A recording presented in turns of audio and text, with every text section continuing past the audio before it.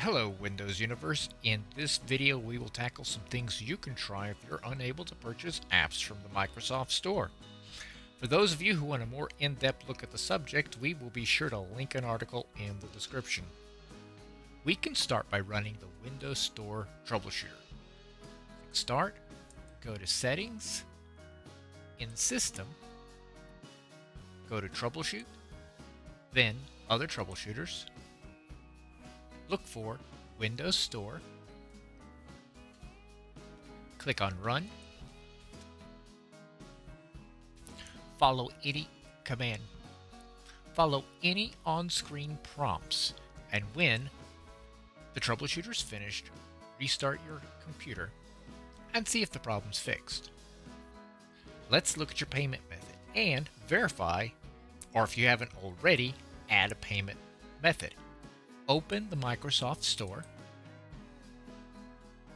click on your profile picture, and click on Payment Methods. This will open a browser where you'll have to log into your Microsoft account.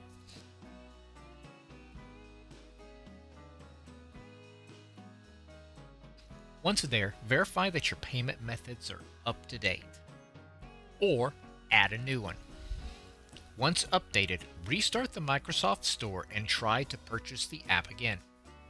Next, let's look at verifying the address. If the address on your account does not match the payment method address, then most likely the payment will not be successful.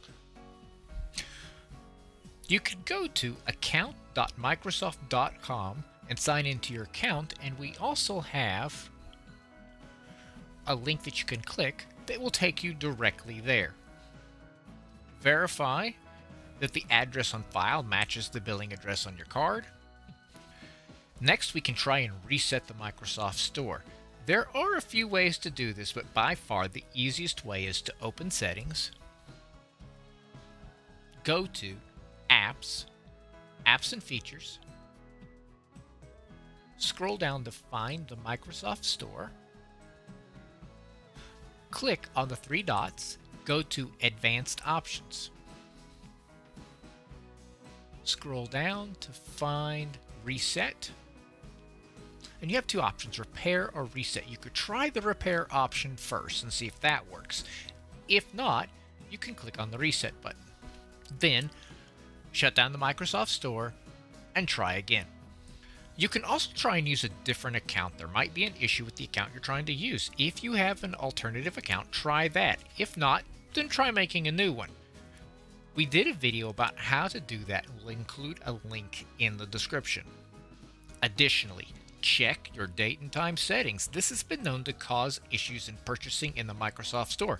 We also did a video on how to check and fix your date and time settings and we'll also link that in the description. For more helpful articles to help you maximize your Windows experience, go to our website, thewindowsclub.com.